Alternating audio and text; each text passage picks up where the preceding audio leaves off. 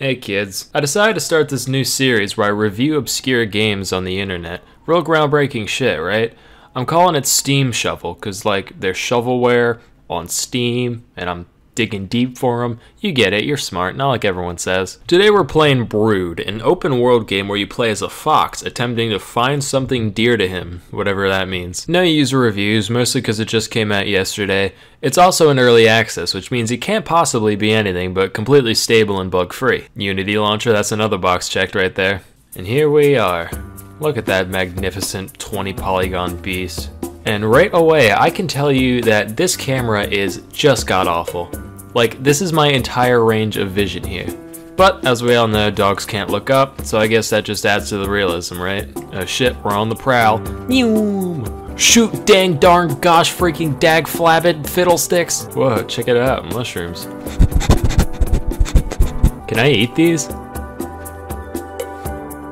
No, I guess not. Liftoff. We have a liftoff. 32 minutes past the hour.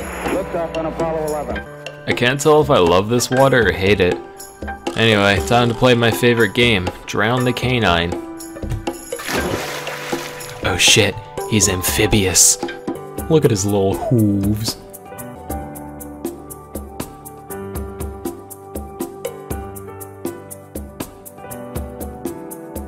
You know what? I think this game's growing on me.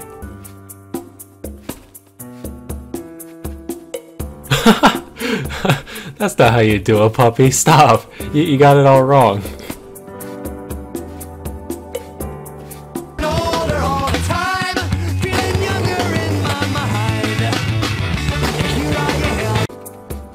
Ah, the cactus and the fox, my favorite Aesop's fable. Alright, I cannot deal with this camera. There's gotta be some options I can change.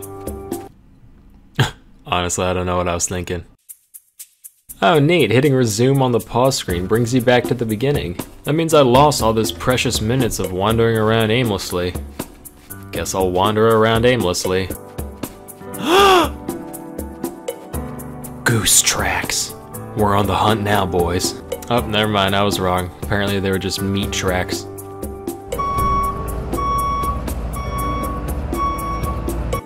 I gotta be able to eat this, right? Oh, there he goes. Yes. The protein has made him plump and supple. And now it is time to breed.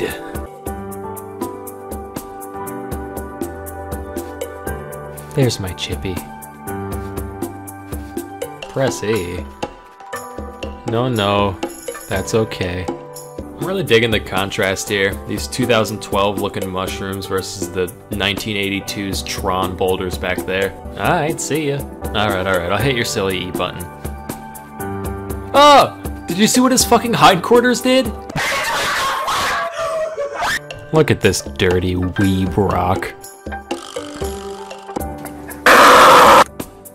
Oh, that's kind of cute. He sits down if you idle long enough.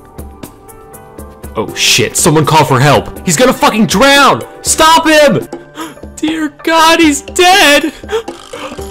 I, I loved him! Overall, I rate Brood 3 bloated fox carcasses out of 5. Tune in next time for more shenanigans. Thanks.